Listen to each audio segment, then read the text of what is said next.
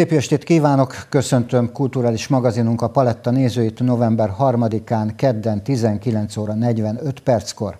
Mai adásunkban először a Tóparti Gimnáziumba látogatunk el, ahol megnyílt az iskola mentortanárainak hagyományos kiállítása, majd szintén egy tárlatot mutatunk be, amelyben az élő népművészetet szeretnénk láttatni önökkel, és ahogy még mindig tudunk újat mutatni, teszem hozzá.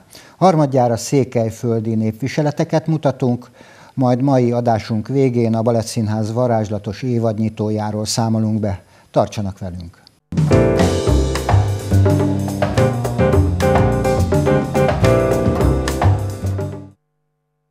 Cserpakovics András polgármester nyitotta meg a jubileumi hagyományos őszi tárlatot a Tóparti gimnáziumban. A gimnázium kiállításán idén is az intézmény művésztanárainak alkotásait tekinthettük meg. Megnyílt a művésztanárok hagyományos tárlata a Tóparti Gimnázium és Művészeti Szakgimnáziumban. Az Időtlen Érték című rendhagyó kiállítást, amelynek üzenete az online térbe is eljutott, Cserpalkovics András polgármester ajánlotta a művészetkedvelők figyelmébe.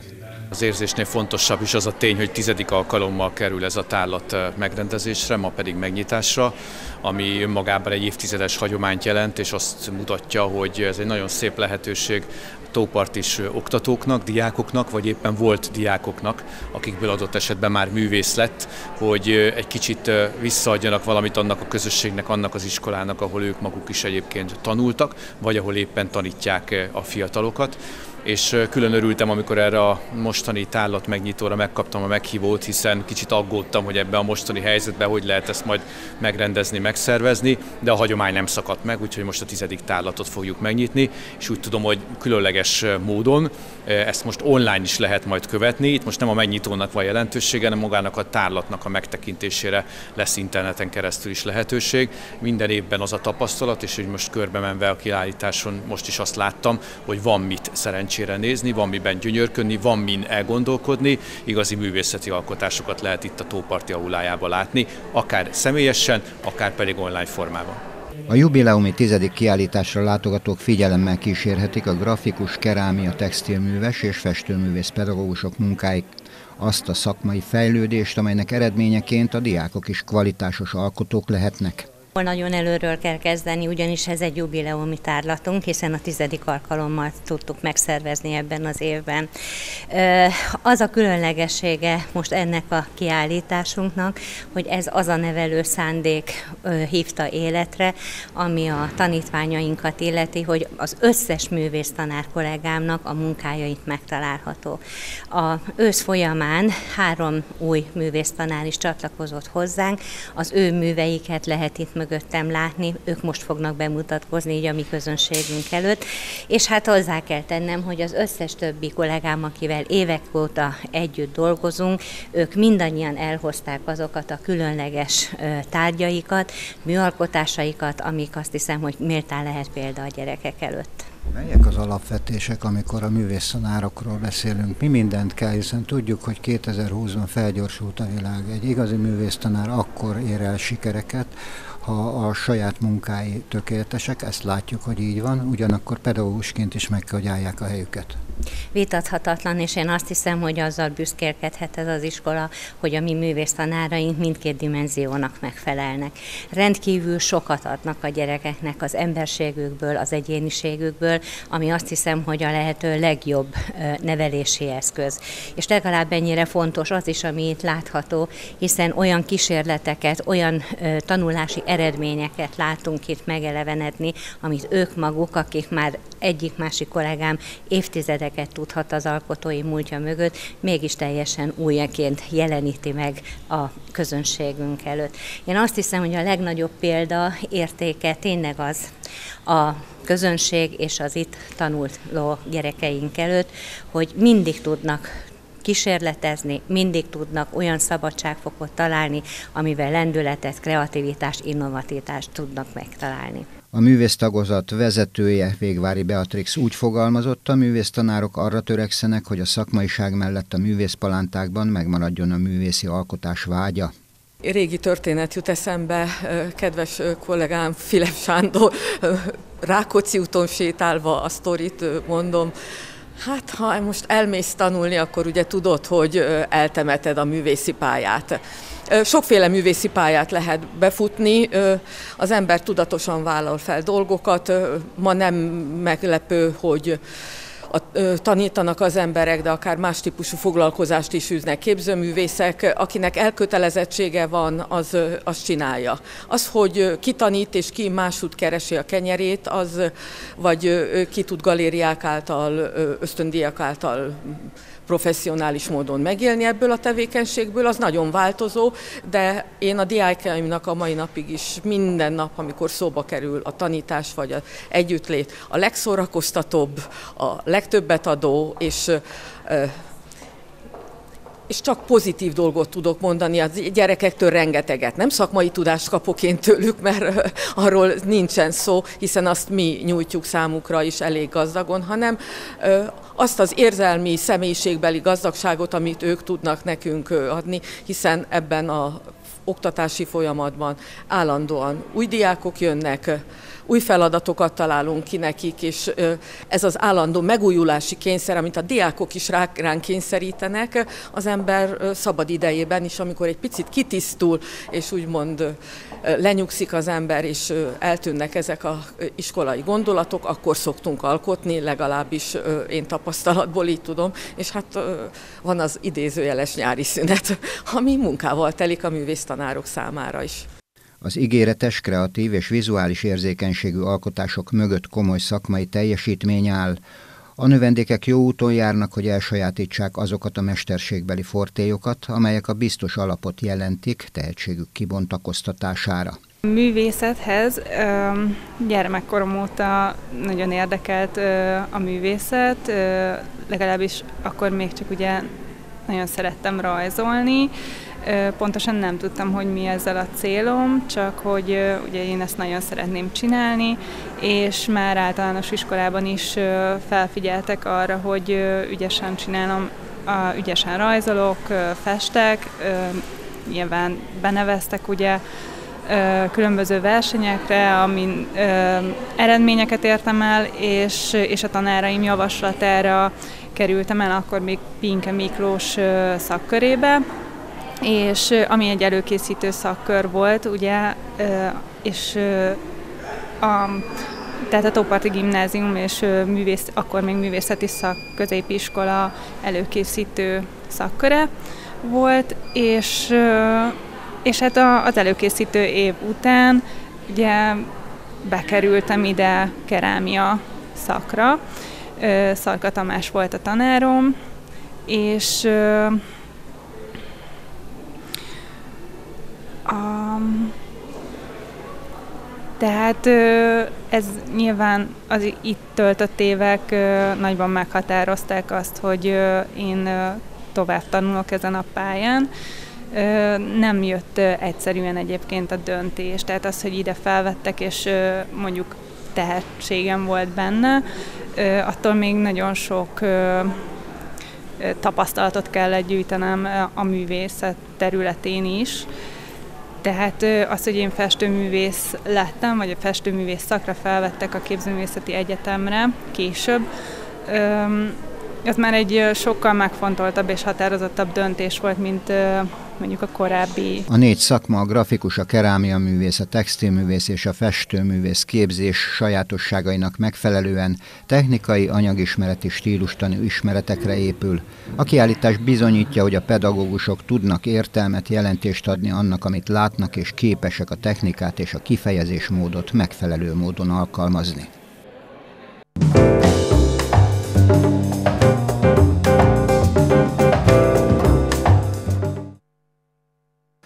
fenntartható fejlődés alcímmel rendezték meg Székesfehérváron az élő népművészet regionális kiállítást.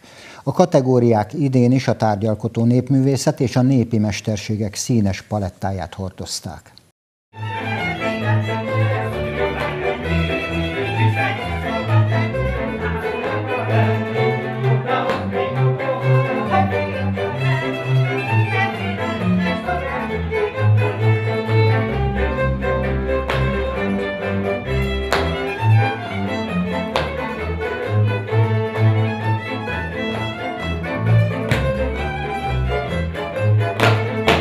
Hánkakas István Tombor Bea és a Táncos Párt kísérő barátok zenekar műsorával nyílt meg az Élő Népművészet 17. országos népművészeti kiállítás Közép-Dunántúli régiós kiállítása a Szabadművelődés házában. A Közép-Dunántúli tárlaton 15 népművészeti szakákból 69 egyéni alkotó, 5 alkotócsoport közel 500 alkotását tekinthették meg az érdeklődők. A Népművészek Egyesületének Országos Szövetsége rendezi meg öt évenként az élő népművészet kiállítást. Ez most a 17 tehát a korábbi az 2015-ben volt, a 2020-as egy nehéz sorsú kiállítás, már le kellett volna menni az országosnak is, de a vírus helyzet miatt ez át fog tolódni jövő tavaszra. Mi a Fehér megyei és Veszprém megyei, Komárom megyei régiós kiállítást szervezzük, a Mart Egyesület kapta meg ezt a feladatot. A három megyéből több mint 60 alkotó adott be pályázatot, több mint 500 tárgy érkezett meg, és ezek 14 népművészeti szakágat képviselnek. Itt díjazzuk ezeket az alkotókat, 30 díjazott lesz a, a nap során, tehát a megnyitó közben 30 ember fog díjat kapni és az országos sorozatban pedig szakáganként kiadnak bronz, ezüst, arany minősítést, illetve a gránátalma díjat, ami a legmagasabb díja népművészek között, ami megszerezhető szakágazatonként. A legtöbb tárgy ez a hímzőktől érkezett, több mint 160 hímzést lehet látni, és ezt itt meg is lehet tekinteni az aulában, illetve a két teremben. Ezen kívül nemezesek, bőrösök, fafaragók, hangszerkészítők, fém, fémművesek, ékszerkészítők, viseletkészítők, tehát a, tulajdonképpen az egész népművészeti ágat fölölelő kiállítást tudtunk létrehozni. Az öt évente megrendezésre kerülő rendezvény felmenő rendszerű az országos kiállítást Budapesten 2021 tavaszán rendezik meg, 24 tagú szakmai zsűri választja majd ki az országos kiállításra kerülő alkotásokat. Ennek az eseménynek nagyon nagy jelentősége van, hiszen érteti rengeteg ember a mai, ma a magyar népművészetet. És aki a régit nem őrzi, az nem építhet újat. És itt látjuk azt, hogy földolgozzák ezek az alkotók a régi tájegységüknek a legjellemzőbb, legszebb darabjait, viszont a mának, a 21. századnak alkotnak. Akkor ezért élő népművészet? Ezért élő népművészet. Itt mindenféle formában látunk csodálatos dolgokat, szövést, hímzést, bútorkészítést, nemezölést, tojásfestést, kerámiát, minden van az ég világon, fafaragás, és ez egy borzasztó boldog dolog, mindenki örül, amikor csinálja, és amikor megnézi valaki, és amikor látják, hogy hm, ez igen, ez a mai élő magyar népművészet. Szabó László Zoltán népi bútorkészítő, népiparművész, a népművészet mestere elmondhatja, hogy a Balaton felvidéki Faber berakásos bútorok csodájának megteremtéséhez vezető út egyedi és cseppet sem könnyű. Alkotásai azonban minden tekintetben kiállták az idők próbáját. Nem mindig bútorkészítéssel foglalkozom, eredeti szakmám építésztechnikus vagyok, köműves munkákhoz is végez. Úgy kezdtem. Köműves munka, aztán építésztechnikus lettem, és akkor hát láttam a faragásokat, elkezdtem fát faragni, faragott bútorokat, azt csak később csináltam, mert ahhoz már pénzt kellett, először, először keresni kellett hozzá pénzt. És most újabban meg hát kővel is foglalkozom, tehát kőszobrokat is készítek. Az emberiség történelmében kezdettől fogva tetten érhető a bőr megmunkálása. A motivumoknak, jelképrendszereknek mondani valójuk van, amely árulkodik viselője hitéről, hovatartozásáról, személyiségéről, Nincs ez másként Pásztor Sarolta esetében sem. Nagyon régóta művelem ezt a mesterséget, és a mesterségnek nagyon sok ágával, tehát a, a szígyártás, a nyerekkészítéstől kezdve mindegyikbe belekóstoltam. Tulajdonképpen elmondhatom azt minden, ami bőr foglalkoztat. Utazótáskákkal készültem, egy kicsit ki, kirívóan, kirúkolóan más, mint egy népművészeti ága. Próbáltam tovább vinni, tovább álmodni a kézművességet, a bőrművességet. Az egyik díjazott Józsa Szaka Erzsébet Katalin a népművészet ifjú mestereként nemezeléssel foglalkozik. Katalin a Fejér megye népművészet címmel is büszkélkedhet, ami elhivatottságát látva természetes. Legelőször általános iskolában találkoztam ezzel a, ezzel a szakmával, ott akkor még csak szakkörként ismerkedtem vele, és később egyetemistaként a egyetemi tanulmányaim mellett iratkoztam be Nádudvarra, a szakiskolában, népi kézműves mesterségek szakiskolájába, ahol szakmát szereztem, valamint az oktatói képzést is elvégeztem. És hogy miért jó nemezelni? Jó nemezelni egyedül, mert akkor kikapcsol, és el lehet benne mélyülni, és, és a meditatív alkotást lehet igazán élvezni ebben, és azért is jó nemezelni, mert amikor egy nagyobb munkát készítünk, azt általában közösségben több emberrel készítjük, és ez mindenképpen egy nagyon jó hangulat, közösségteremtő ereje van a barátokkal, rokonokkal, bárkivel, akivel dolgozunk, mindig egy nagyon jó közösségi folyamat szokott ez lenni. A kiállítás egyik legfontosabb célja, hogy kiderüljön a turista központok vásárok nagy részét napjainkban elöntő, többnyire igénytelen, nem kézműves munkával készült, népművészetként árult ajándéktárgyak mellett létezik hiteles, igényes és míves tárgykultúra is.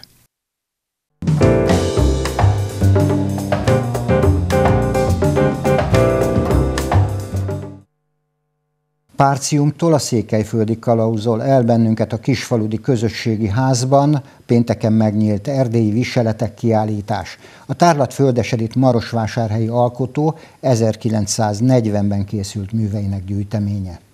Adorján Zoltán ajándéka a városnak az erdélyi viseltek kiállítás anyaga, aki Marosvásárhelyről költözött Székesfehérvárra.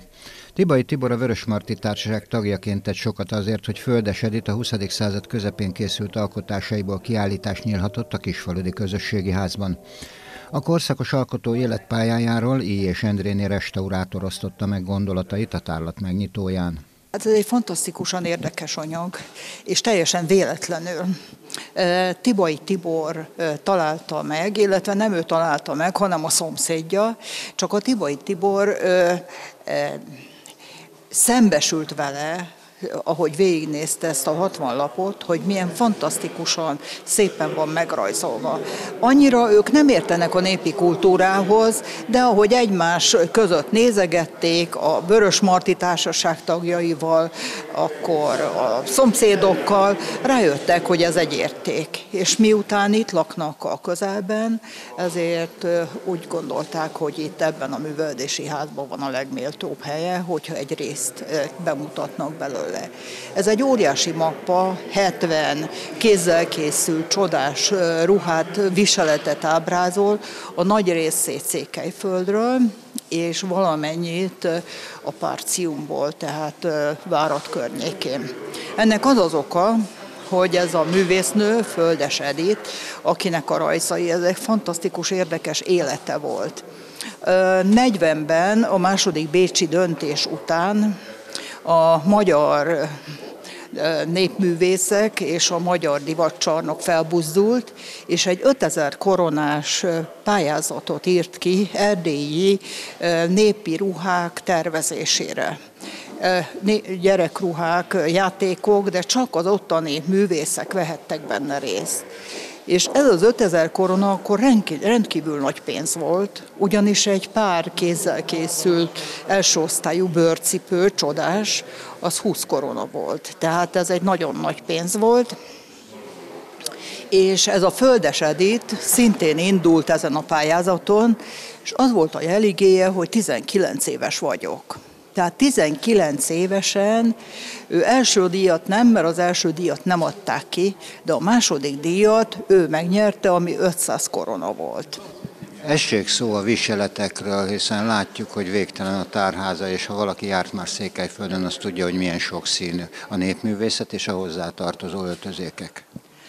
Hát e, a kiállítás nagy része a székely viseletből, ugyanis ö, ö, Marosvásárhelyen tervezett, a Maros Együttesnek, a Kolozsvári Operának, Székelyfonót, akkor a Hári Jánost, akkor Hunyadi Lászlót, tehát ezekhez kereste az anyagot, ez a Földes Edith nevű fiatal művésznő, és 30 évesen megbízták már azzal, hogy a Kolozsvári Opera díszelőadására ő tervezze a jelmezeket.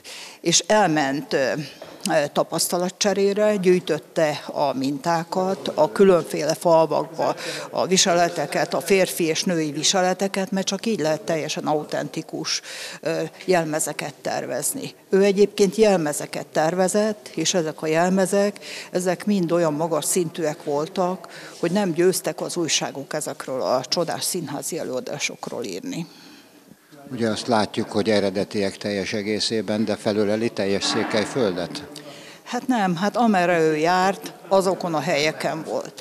És ugyan például van egy gyönyörű rajz a Párciumból, a Párciumba azért ment el, mert Nagyváradnak is tervezett, de ez már egy stilizált viselet volt. Azért Párciumban nem volt annyira karakteres népi viselet, mint mondjuk a Székelyföldön. A székely viselet az azért nagyon jellegzetes, és hát ugyan ők nagyon ismerik egymást, meg hogy melyik falu milyen viseletet hordott, de, de mondjuk hát azon kívül rengeteg gyönyörű viselet van Erdélyben természetesen, de például nem járt Kalotaszegen, onnan nem gyűjtött viseleteket, nem járt a hétfalusi csángóknál, ott se gyűjtött viseletet. Tehát ő tulajdonképpen a Székelyföldre specializálódott.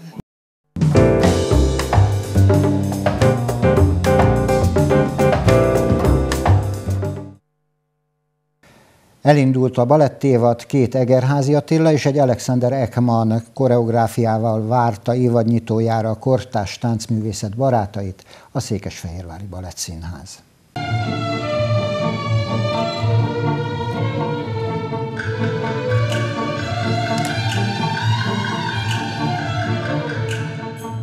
Az Aritmia című darabot a COVID-19 vírus által okozott világjárvány kapcsán annak társadalomra gyakorolt hatásainak, valamint a karantén időszaknak dedikálva alkotta meg Egerházi Attila, míg Bizé operájából a Scedrin által táncvitté komponált zeneművet láttatva a zene és a tánc egységbeöntésével úgy koreografálta meg, hogy az legyen átélhető, érezhető és érthető történet.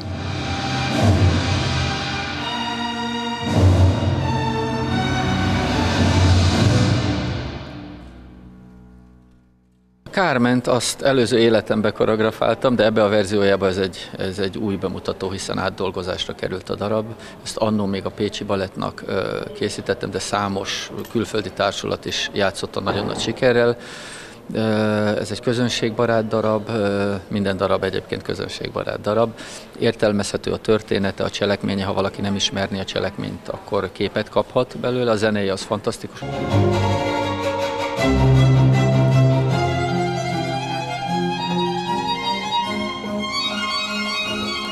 A világhírű Alexander Ekman koreográfiája a Szeszi egy ízig-vérig kortás táncművészeti darab arról, hogyan kell pozitív módon megélnünk az igaztalan kritikákat még akkor is, ha belül csak nem megbolondulunk. A darab olyan különféle élethelyzeteket mutat be, amelyeket a mindennapjaink lettek.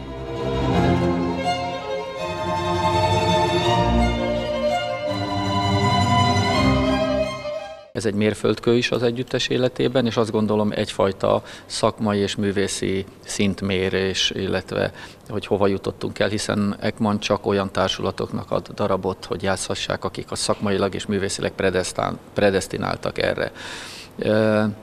Nagyon büszke vagyok a társulatra, nagyon komoly munkát végeztek el. Matilde von Mérendork a, a próbavezető balettmestere, de mielőtt ő megérkezett volna, ezt a darabot már betanította Krisztina Porres Mormeneo videóról. A bemutatóra október 14-én a Vörösmarty Színházba várják a kortárs táncművészet barátait.